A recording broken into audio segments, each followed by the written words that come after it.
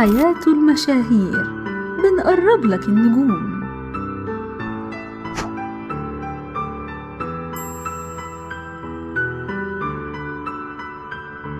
ناهد رشدي.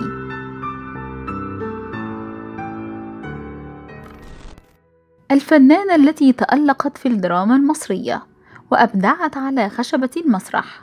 على الرغم من تاريخها الفني الكبير ترى نفسها فنانة هاوية. تقف أمام الكاميرا من أجل الفن فقط. لذلك فهي تختار أدوارها التي ترى فيها أنها تستطيع أن تبدع وتخرج طاقتها التمثيلية وليس بغرض الشهرة والانتشار. ابتعدت عن الفن لفترة ولكن عند عودتها وصلت إلى غايتها وهي التمثيل بسهولة ويسر. فهي الفنانة الموهوبة التي قدمت أدوارا متشابهة إلى حد ما ولكنها قدمت كل دور وشخصية بطريقة مختلفة. وقفت أمام نجوم كبار فاختزلت الخبرة وغلفتها بالموهبة. وها هي الآن تبدع وتتألق في أدوارها والتي تعتبر قليلة على حجم موهبتها. اليوم نحن على موعد مع الفنانة المتألقة ناهد رشدي وسنعرض لحضراتكم تاريخها الفني وعلاقتها بالفنانة داليا مصطفى والتي تفوقت عليها على حد تعبيرها.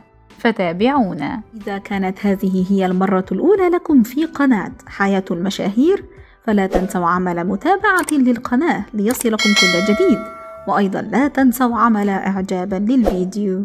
ولدت ناهد رشدي في 15 سبتمبر عام 1965 منذ طفولتها ظهرت عليها موهبة الأداء والتمثيل فقررت أن تستغل موهبتها فأقنعت أسرتها بذلك والتحقت بالمعهد العالي للفنون المسرحية وتخرجت منه عام 1982 بدايتها الفنية جاءت قبل التحاقها بالمعهد وأثناء دراستها به حيث قدمت أدوارا ثانوية في أعمال عديدة منها التلفزيوني والسينمائي. وظلت على هذا المنوال تقدم أعمالا وأدوارا ثانوية حتى قدمت دور السنية بمسلسل أرابيسك أيام حسن النعماني. وهو الدور الذي كان بمثابة نقلة كبيرة في مشوارها الفني. لتقدم بعد ذلك أدوارا أخرى في أعمال أغلبها كان درامي. فقدمت مسلسلات لن أعيش في جلباب أبي هوانم جاردن سيتي بأجزائه الاثنين. النساء قادمون الفرار من الحب المرأة في الإسلام امرأة من نار ثم غابت لمدة تسع سنوات.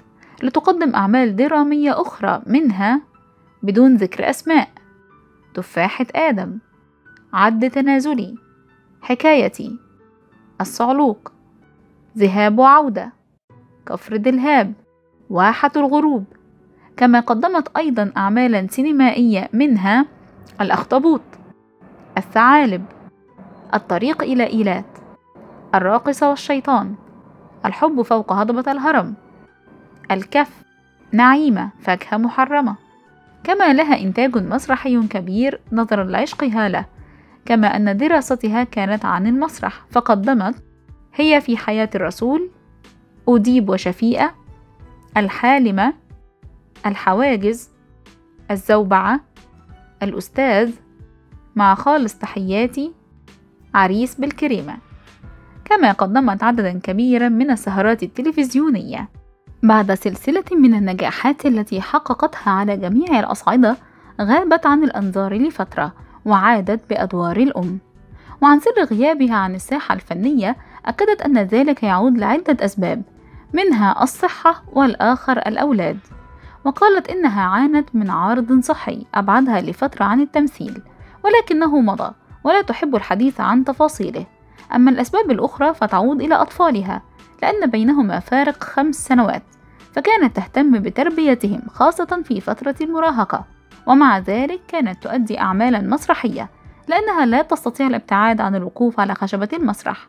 وكذلك لعدم حاجة الأمر للالتزام بمواعيد تصوير طويلة كما في المسلسلات فضلا عن القيمة الموضوعية للمسرح. ولكن قرار عودتها لم يكن بالأمر السهل. فكانت متوجسة من عودتها خاصة أنها ستتعامل مع صناع أعمال شباب بعكس ما كانت تتعامل معهم سابقا. وعن تلك الحالة التي عاشتها ذكرت كنت متوجسة من النزول مجددا إلى مواقع التصوير خشية عدم استطاعة التآلف مع ظروف جديدة لم أعتادها وخفت عندما وجدت نفسي أمام طريقة عمل مختلفة تعتمد على كاميرا ديجيتال واحدة وتقنيات لم أعهدها. خصوصا افتقاد الثلاث عدسات التقليدية المتبعة على أيامنا.